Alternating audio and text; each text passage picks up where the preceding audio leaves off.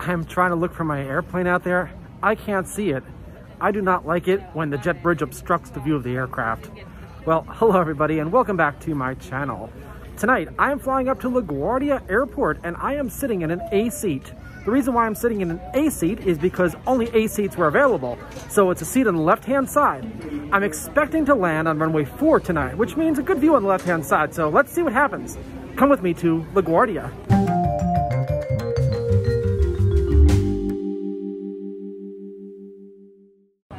There's absolutely no way I can see my airplane behind me. I don't like that.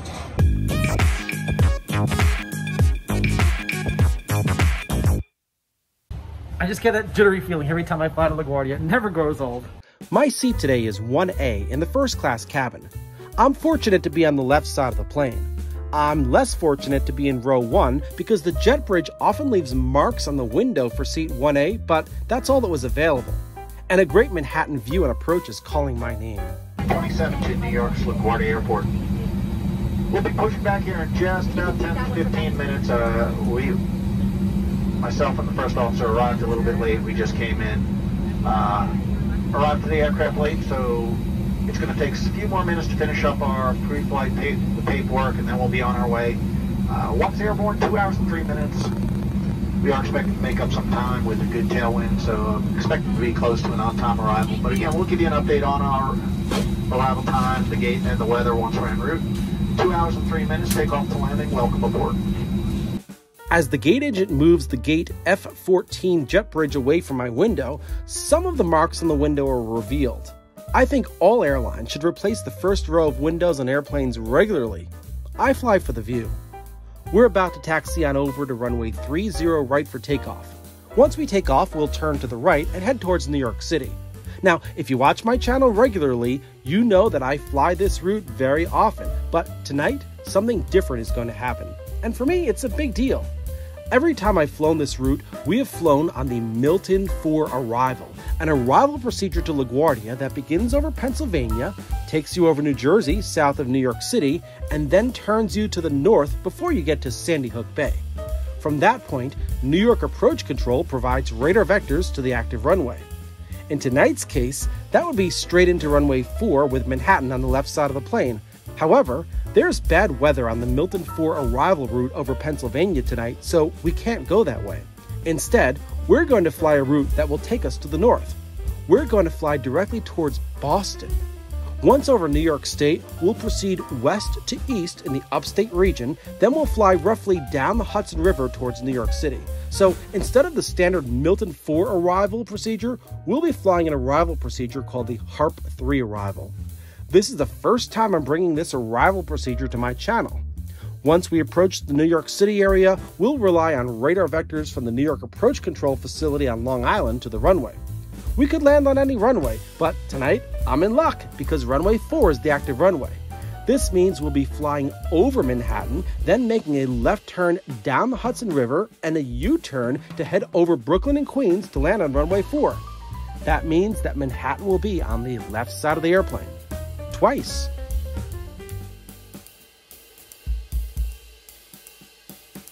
We began our descent following the HARP 3 arrival over upstate New York under the control of controllers at the Boston Air Route Traffic Control Center.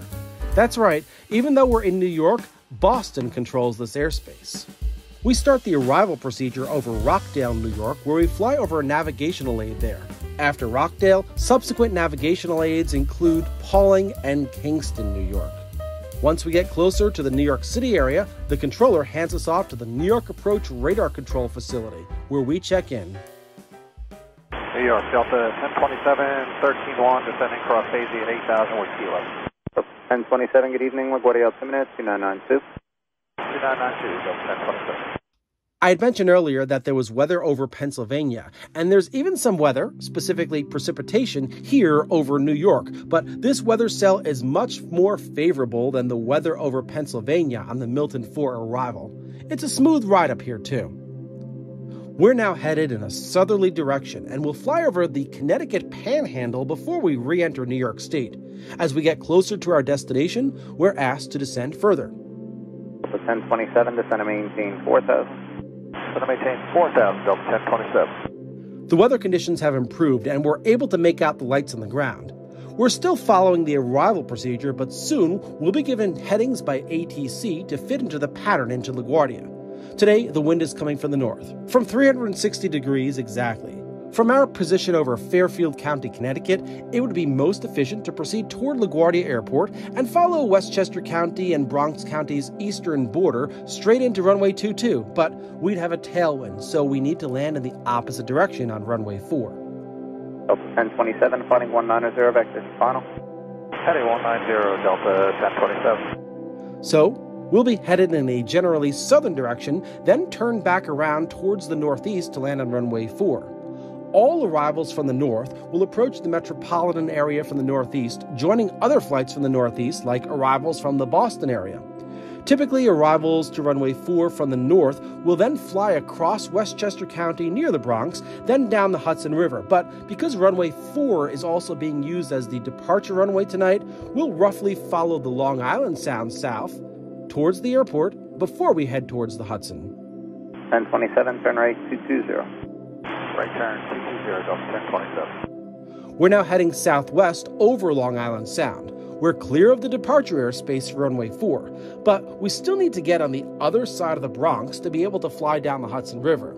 The way this is achieved is for the controller to tell us to proceed directly towards LaGuardia Airport, then fly west. At LaGuardia, there's a navigational aid at the approach end of runway 22 that the controller tells us to proceed directly to, then fly west, or 270 degrees. 1027, direct LaGuardia, then outbound 270. Direct LaGuardia, then outbound 270 on the heading, Delta 1027. This sets us up to fly right over LaGuardia Airport, then turn west, and the turn west will put us right over Midtown Manhattan. This is why I'm grateful for the fact that I'm sitting on the left side of the airplane tonight.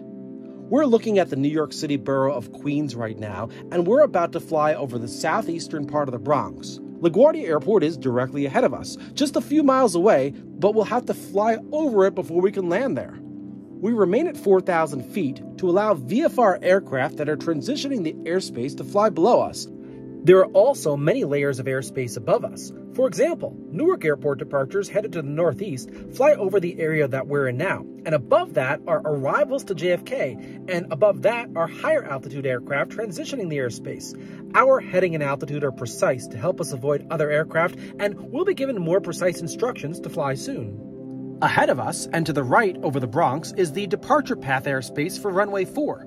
Since runway 4 is also being used as a departure runway tonight, when the runway is clear of arriving aircraft, the tower issues takeoff clearance to departing aircraft, and they occupy the airspace to our right. That's why we are where we are right now. But it's very late at night, and there are no departures, but we still avoid Bronx airspace just in case. What you're looking at here is the College Point section of Queens. We are really close to the airport right now, but we can't land for about another 10 minutes, all because of the traffic scenario based upon the wind, airspace, and runway configuration. If you ever see the airport you're going to land at and are still high up, chances are there's still some time left before touchdown, especially in complex metropolitan areas like this. Clouds blocked much of the view of the actual airport here as we passed directly over the runway 22 pier, which extends over the East River. Once past LaGuardia Airport, we have views of the western parts of Queens, and in the distance, we can even see Brooklyn. This is the airspace that we'll be flying in in a few minutes at a lower altitude as we turn back around and land on runway 4. For now, I'm just getting excited for the view of lower Manhattan as our nose is pointed directly towards Midtown Manhattan. Boy, do I wish I was in the cockpit for that forward facing view tonight. As instructed by ATC moments ago, we're flying a 270 degree heading after LaGuardia. We are over the northwest section of Queens, looking at most of the borough from this side of the aircraft, and we're keeping our 4,000 foot altitude as we head west. I'm glad that the weather broke and there are only scattered clouds below us so I can point out things to you. The view is only going to get better from here. By the way, if you like what you're watching so far, please consider subscribing to my channel. If you're not already among the thousands who have already hit the subscribe button, you'll find that my channel provides one of the most unique angles in aviation out there. We're approaching the East River. It's our second time flying over the East River as we flew over it when we were passing by LaGuardia Airport, but this time it's the part of the East River that borders Manhattan's east side. Once past the river, we're over the island of Manhattan, specifically over Midtown Manhattan, and I'm happy that the left side of the plane provides this great view of lower Manhattan. We need to start our turnaround and can't keep this heading much longer because of traffic into Newark Airport ahead, so we're issued a left turn down the Hudson River. 1027, turn left 240, speed 180. Left 240, speed 180, Delta 1027. A left turn to 240 degrees places us on a southwest heading. This is the view I have been waiting for.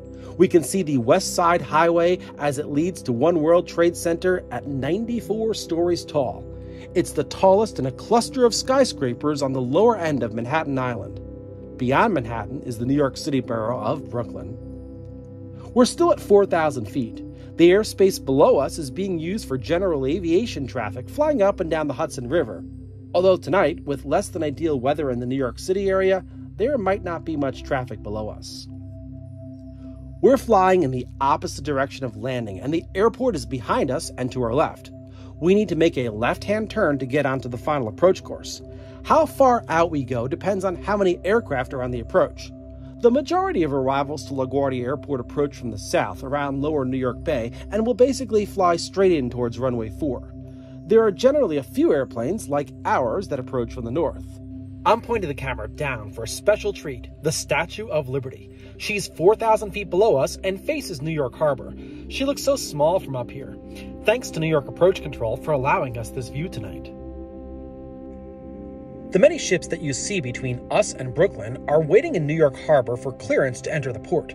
There's so much going on up here and down there. Welcome to New York City the city that never sleeps. In the distance, you can see the Verrazano Bridge, connecting Staten Island with Brooklyn. In a few moments, we'll be directly over the bridge as we turn to the left and make a complete U turn. We need to fit into the straight in stream of arrivals from the south, so the approach controller needs to assess the scenario.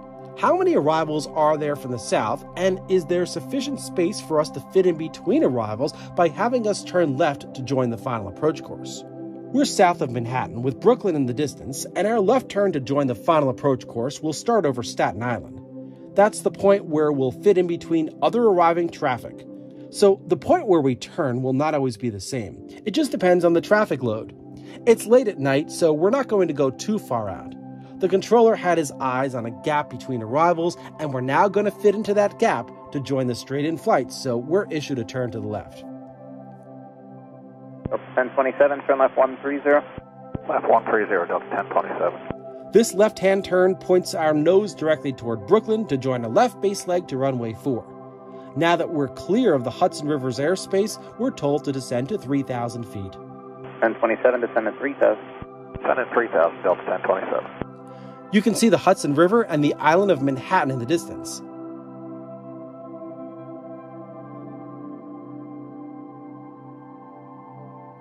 It's now time for us to get issued a turn to intercept the approach course and get cleared for the ILS runway 4 approach. So 1027, 6 from Pachu, left 070, 3000 feet established, but ILS runway 4 approach. Left turn 030, uh, 3000 till established, cleared ILS 4 approach, Delta 1027. You can just verify that's left 070 and you're still clear to approach. Left turn 070, Delta 1027, clear. We're now going to get a speed restriction until Dennis, a place on the approach 6.2 miles from touchdown. 1027, maintain 170 knots till Dennis. 170 till Dennis, Delta 1027. The Verrazano Bridge is below us as we turn left towards Brooklyn on a 70 degree heading. The final approach course is on a 44 degree heading, so as we approach the extended center line to runway 4, we'll turn 26 degrees to the left, our final turn, and then proceed on into the runway to land. To land, we need landing clearance, so the approach controller hands us off to the control tower at the airport. 1027, Tower 1187, have a good night. 18.7, good night, Delta 1027. Let's contact the tower. Tower, Delta 1027 with you, ILS 4. Delta 1027, tower number 2, you're following the Nevwest 320, uh, about 6.5 miles ahead. Braking action reported good by 737. They also reported light to moderate turbulence on the way down with light rain. Wind 36011, runway 4, clear to land. Clear to land, runway 4, Delta 1027. Well, that was a lot of information from the control tower. Of all the videos that I've provided to you on this channel, the tower controller generally issues landing clearance and the current wind, but this is a special weather night. Keep in mind that weather had us fly a northern arrival procedure, so it's definitely not a typical night. The LaGuardia tower controller let us know what the braking action is. Braking action is a way of letting us know how easily a plane can stop on a runway. Tonight, the runway is wet, and a previous arrival to the airport reported that braking action is good, so there's no worries here. There's also a report of light to moderate turbulence all the way down to the runway, but I hardly felt anything on the approach. The wind is out of the north, and we're clear to land on runway 4. Again, Manhattan is revealed to all passengers that are sitting on the left side of the airplane. This time we get to see both downtown and midtown. I'm so happy I'm on the left side of the airplane. We are fully established on the localizer and glide slope components of the instrument landing system. As we get closer to the runway, we descend on the glide slope all the way to runway 4. This is not the first time I'm bringing the ILS Runway 4 approach to my channel. For the same view during daylight conditions, check out my video called Great Manhattan View to LaGuardia Airport with ATC. In this video, I'm also on a flight from Minneapolis to LaGuardia, but we fly the Milton 4 arrival procedure over Pennsylvania and New Jersey and approach New York City from the south, where we proceed north to land straight into runway 4. You'll also notice that in that video, there are very few turns. So even though we land on the same runway, the entire approach to get to the instrument landing system for runway 4 is quite different in the two videos.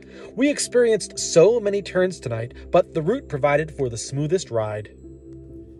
We can finally see Midtown Manhattan with its cluster of skyscrapers, both old, like the Empire State Building, and new, like the many new super tall structures. Remember that if the wind is coming from the north or the west, chances are high that you'll land to the north or west, so always pick a seat on the left side of the plane.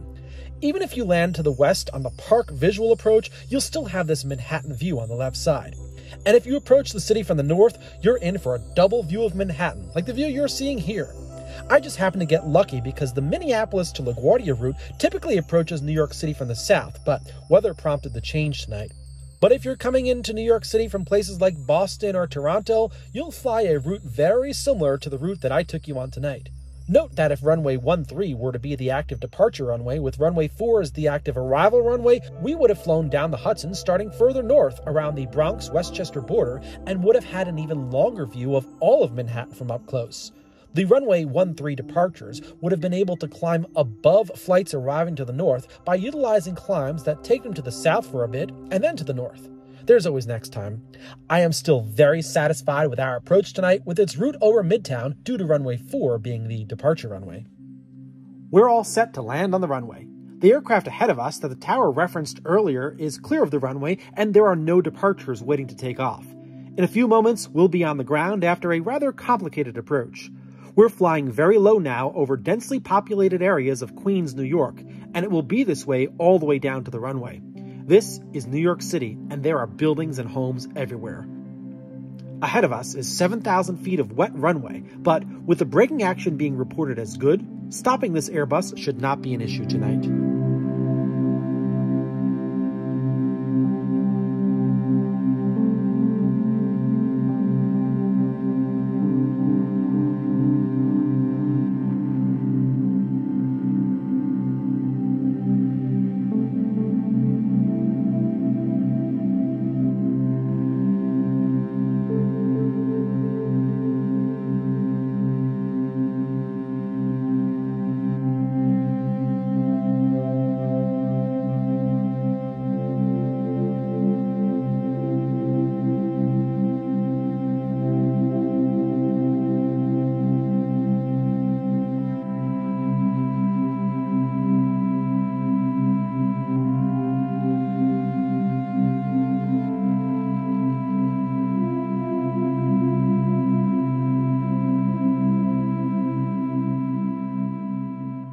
Slow down, we're told to vacate the runway and taxi to the ramp.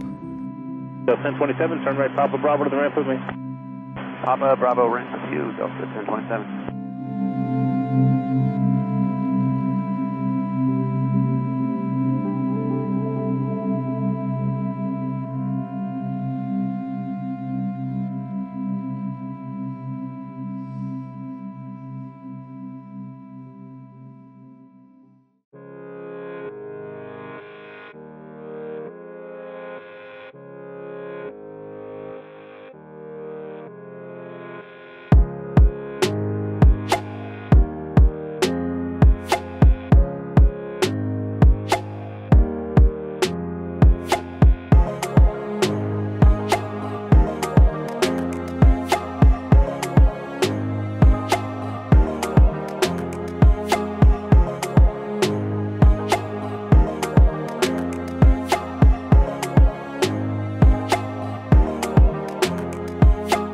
Baggage claim area here at the D terminal. Thank you so much for watching this video. If you're not a subscriber to my channel, please consider subscribing by clicking on the subscribe button below, hit the bell button, hit the like button, and I'll see you very soon in another video like this.